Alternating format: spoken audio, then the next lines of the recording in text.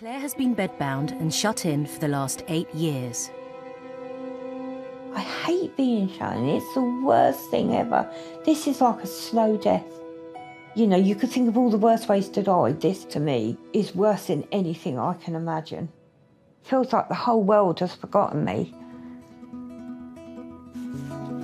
49 year old Claire weighs 31 stone and lives within the four walls of what used to be her living room.